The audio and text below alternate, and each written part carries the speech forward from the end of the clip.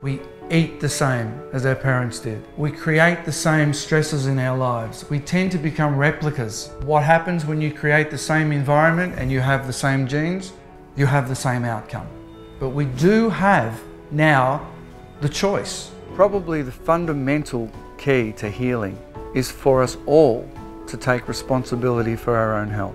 Without taking that responsibility, we tend to just be leaving the outcome up to somebody else.